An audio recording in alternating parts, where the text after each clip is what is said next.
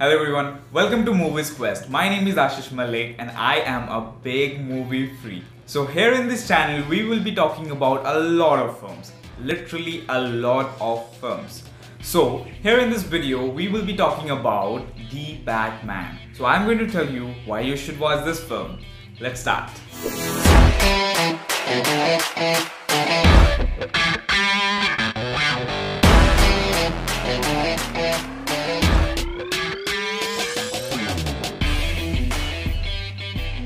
The Batman is completely a Batman film. It's more of a Batman Batman film, not a Bruce Wayne film. Let me clear it with a little bit more easier explanation. First, this Batman is always into his Batman character. I mean, whenever he appeared on screen as Bruce Wayne, he is working his mind as Batman. Talking about the best part about this film is this film is more story oriented. So that's why we got to see Batman's detective side mostly. Uh, that's what I love the most in this film.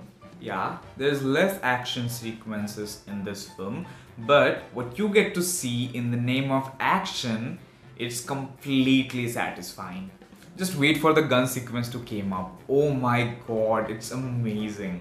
And visually, this film is completely awesome. It feels like every shot is crafted so damn well before taking it. I mean, beautiful. Lastly, all the actors' performance is so amazing. Usually, I don't get that much disturbed whenever a new actor playing some iconic role, but Robert Pattinson just made his own way. Like, like literally, he gave us a new, completely new Batman. Zoe Kravitz's performance is just amazing. Probably she's the best Catwoman I've ever seen. Literally, whenever she appeared on screen, she felt so close, the character felt so close, and it's just like magical. She did a really great job.